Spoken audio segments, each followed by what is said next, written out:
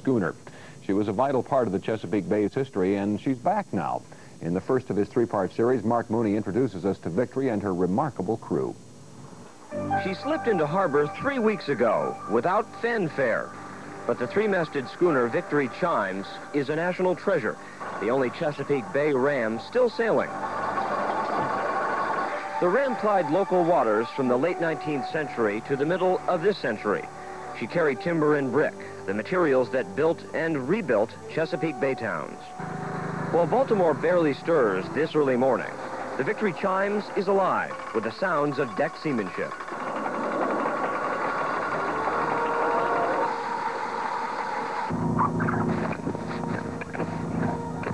The reason for this apparent amount of concern for the coil isn't just to make it look right.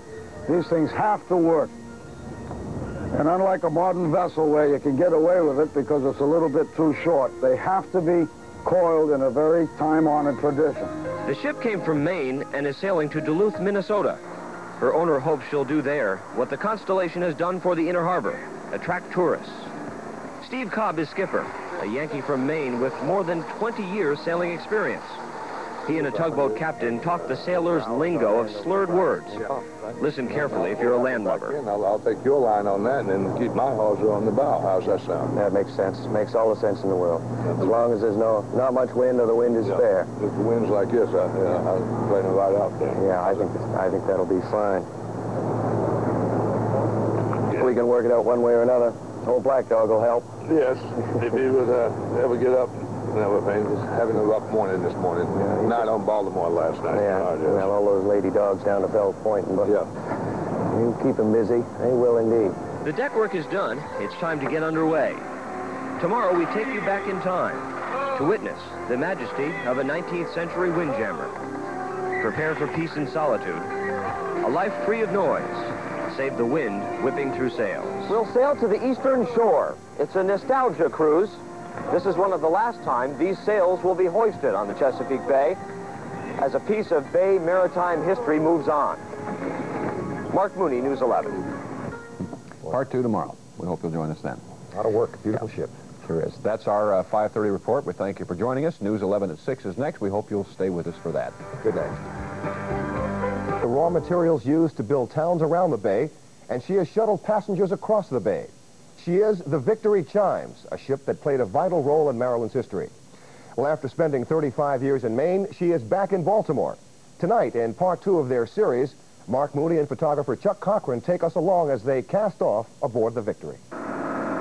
She's been seaworthy almost 90 years, from Grover Cleveland to Ronald Reagan, sailing waters as turbulent as the history of her time. The Victory Chimes has been around so long, she's had two lives. First a Chesapeake Bay cargo ship, then an historical cruise ship on which passengers today pay a premium for the privilege of hoisting her sails. This one was was the heavy hauler on the bay, but this this is the type of vessel that also built the bay quietly and without a lot of fanfare, prosaically. If pretty is as pretty does, then the Chesapeake Bay Ram must approach beauty. Other schooners have been more nimble, but none more sturdy. Still, the Victory Chimes is the only example of her kind left. The 34 other rams that once roamed the bay are gone forever. They're laying bleached bones on the shores of Herring Bay and and uh, up the uh, the Nanticoke and and all around where where they were finally pushed up on the mud when they weren't it wasn't worth it to maintain them anymore. How did she survive when others couldn't? Possibly through persistent, tedious deck work. For deck hands, a labor of love. Not a chore, but a historical mission. It's one of the few places on Earth where I could be happy cl cleaning brass and swabbing decks. The Victory ah. Chimes commands attention wherever she sails. Whether from the shiny deck of the replica ship Mystic Clipper They're dipping their ensign to us. or from the tarp of a Hobie cat, you have to see her from afar to appreciate the full measure of her sails.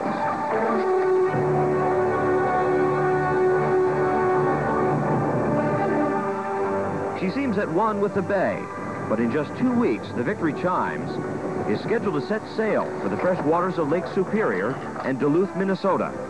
Certainly I realize that this is really part of the Chesapeake history. Of course, she's a Chesapeake ram. She was born here. And yes, I feel bad about taking her away. But will she sail away? Will we let this majestic ship that helped build our Chesapeake Bay towns leave us forever? The answer tomorrow in our final report. Anchored somewhere off the eastern shore of Maryland, Mark Mooney, News 11. Great report and some beautiful Yeah. pictures by photographer Chuck Cochran. Yeah, we joke about uh, being a tough assignment. You do have to work on that. Oh, no question Aboard there, about it. though. That's our report at 5.30. Thanks for joining us. News 11 at 6 coming up next. Good night. How about Back to the Future star Michael J. Fox in a movie entitled Born in the USA? That's exactly what's happening. The flick, which begins filming this summer, will be a family drama based on the Springsteen single. And yes, the boss will write at least one new song for that project. Well, she was built 85 years ago in the proud shipbuilding port of Bethel, Maryland, and spent most of her life plying the waters of the Chesapeake. A lot of people remember the Victory Chimes and feel an emotional attachment to her, but she could be leaving Maryland in two weeks. In the last part of his series, Mark Mooney says there is a cloud over the future of that historic treasure. It's 0700, time to shove off as the bay comes to life. The anchor has to be drawn up by motor. It is one of the few mechanized components to the Victory Chimes. Welcome to day two of our nostalgia cruise. The wind has picked up, and it should be a good day for sailing. Well, the wind's varying pretty much between 10 and 15 knots. I'd say right now it's about, what, it's about 15, just about out of the southwest. And we're going along about 7 knots, which is pretty good for this, this vessel. The skipper charts our course for the last day of what may be the last Chesapeake Bay cruise of the Victory Chimes. Scuttlebutt on deck now turns to the question of where she'll sail next. Her owner wants to home port Victory in Minnesota, in the fresh waters of Gitche Gumee.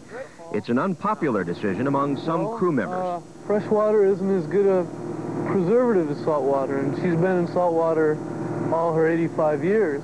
If the Ram schooner was a prosaic ship in its heyday, its near extinction today makes Victory an extraordinary sight, sparking fire in the hearts of sailors. I'd like to be on that boat, sailing that boat, someplace. I think she belongs here in the bay. She was built here. She was designed for the bay. She's, uh, she's absolutely perfect large sailing boat for the bay. With the board up, she only draws seven and a half feet, yet she can claw her way up to windward in, in flat water and make it anywhere in the bay. But the Victory Chimes is not some kind of tax-exempt museum. For her owner, she is a business investment. Still, he's not ruling out Baltimore as home port. If I uh, were to get good vibes from people in the business community, uh, you know, I'd probably consider it. Uh, I just didn't think we'd be as popular as we are uh, because there's so many ships around. She's the only ram schooner left. And I think that the this remaining ram schooner would have a function here in the bay. Sophocles said old age and the wear of time teach many things. If she stays, we have much to learn from the Victory Chimes. With photographer Chuck Cochran, I'm Mark Mooney reporting on the Chesapeake Bay. Beautiful, isn't it? No question about it. By it. the way, just so there's no misunderstanding, the Victory Chimes was built in uh, Bethel, Delaware. Right. Like I said, Bethel, Maryland. Chimes will be at the Inner Harbor, by the way, for at least uh, two more weeks, so get down there and take a look at it. It's probably worth the trip. No question. Sure it is. That's our report at 5.30. We'll see you next for News 11 at 6. Good night.